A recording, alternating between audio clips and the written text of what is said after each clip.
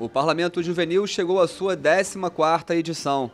A cerimônia de abertura aconteceu na tarde desta segunda-feira no plenário do Palácio Tiradentes. Este ano o projeto será coordenado pelo deputado Daniel Librelon, que também presidiu a solenidade que contou com a presença de parlamentares e dos 97 estudantes que durante uma semana vão poder vivenciar como é o dia a dia de um deputado na Alerj. Nessa uma semana que se inicia hoje PJ, é exatamente isso que nós vamos fazer, diplomar eles no dia de hoje para que eles estejam aptos a apresentar os seus projetos de leis, discutir, vai ter a comissão, a CCJ, o colégio de líderes, para que eles possam se sentir como verdadeiramente parlamentares que venham defender não só as pautas é, do seu projeto de lei, mas como também do seu município, mostrando o caminho da representatividade, a defesa da população, sendo a voz nessa casa da democracia. Nossa ideia é justamente dentro do regimento interno do Parlamento Juvenil, que também eles têm, que venhamos nos aproximar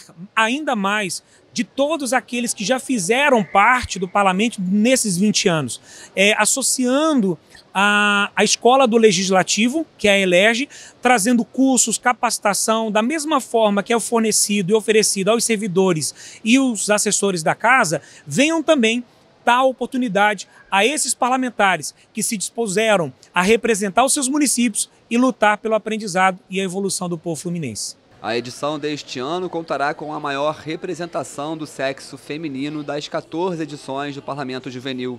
Ao todo serão 59 meninas e 38 meninos. As deputadas Tia Ju e Marta Rocha representaram a bancada feminina da Alerj e falaram sobre a importância dessa representatividade. O Parlamento Juvenil vem com essa pegada de inclusão, de participação da juventude no processo como um todo eles passam dias como se fossem parlamentares ali atuando e os, os, os melhores projetos viram realmente uma, uma proposta de lei para, para que possamos votar no parlamento. Então, os jovens começam a se ver participando efetivamente. A gente precisa estimular, a gente precisa incentivar. Eu acho importante, porque é um exercício da democracia, um exercício é, da cidadania e que a gente consiga perpetuar essa permanência das mulheres no parlamento, que daqui a algumas eleições a gente possa cada vez mais aumentar o número é, da participação da mulher e que a gente possa entender que somos 52% da população, 30% de mulheres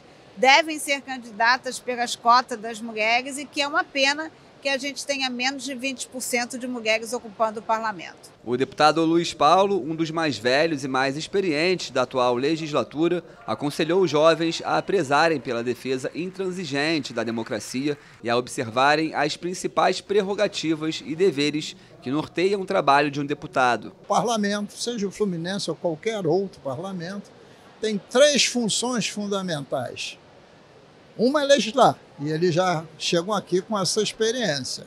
A outra é fazer o controle externo da administração pública, que é fiscalizar.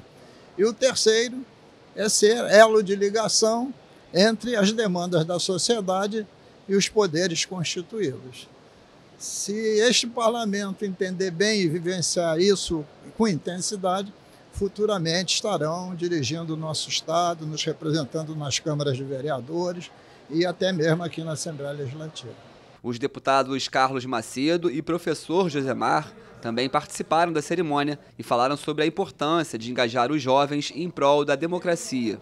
Investir na juventude é investir no futuro, investir naqueles que podem fazer a diferença para as futuras gerações. Eu acho que a juventude tem um papel transformador na sociedade brasileira e eu fico muito feliz que aqui no parlamento a gente consiga abarcá-los. É ótimo, isso é maturidade, isso é desenvolvimento e não é clichê dizer que o futuro está na mão da juventude e uma juventude é, embasada, engajada, atenta aos problemas reais e vendo a ferramenta como uma política, a ferramenta política como uma ferramenta de transformação, eu acho que a gente só tem a ganhar. O ex-prefeito do município de Paulo de Fronten também fez questão de prestigiar a cerimônia e a representante da sua cidade. Isso é um mega trabalho para que a, a, juventude possa ser estimulada a todo momento a entrar na política. A política precisa de pessoas boas e a juventude precisa olhar para a política de forma assim, muito mais ampla. Após assinarem o livro de posse, os parlamentares juvenis se organizaram para eleger o presidente e a mesa diretora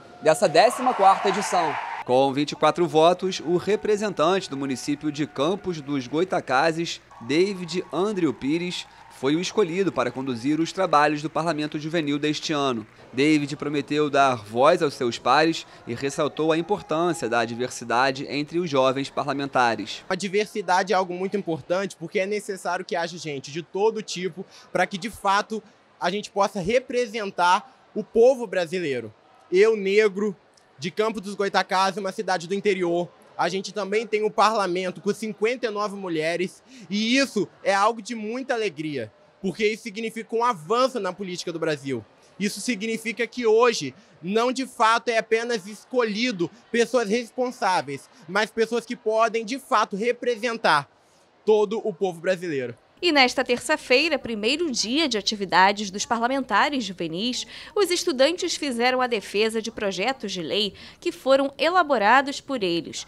São ao todo 68 propostas, já que nesta edição foi autorizado realizar projetos em coautorias, ou seja, um único projeto pode ser assinado por vários parlamentares juvenis. Uma das propostas apresentadas é a da estudante Caroline Ribeiro Machado, do município de Conceição de Macabu. Ela quer que supermercados tenham, no mínimo, um caixa adaptado para cadeirantes e pessoas obesas.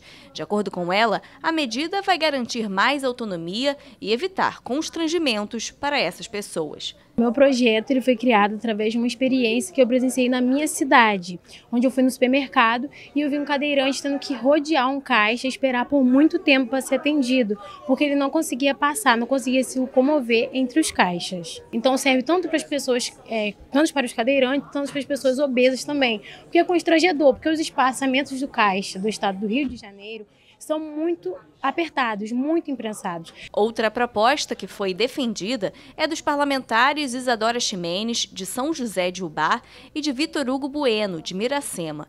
Eles querem que concursos públicos realizados no Estado tenham locais de prova em, ao menos, um município de cada região do estado. Porque às vezes as pessoas que de fora do, da, do estado, que não são do estado aqui, da capital, elas sofrem, é, como que eu vou dizer, elas, elas são difer sofrem diferenças, né? Porque às vezes não tem é, condição financeira de vir um dia antes para ficar num hotel, se preparar e às vezes acabam vindo pela madrugada, não dormindo, né?